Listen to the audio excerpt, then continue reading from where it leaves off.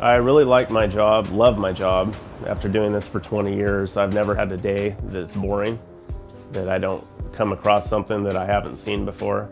Uh, we work on everything from large high pressure steam boilers, uh, low pressure steam boilers, air conditioning equipment um, from anywhere from 5 ton to 115 ton.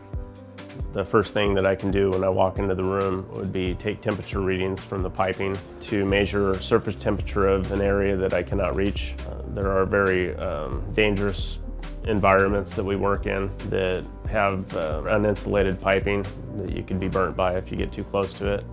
The TG165 is a great tool to use to get precise temperatures and to find the exact location of a problem.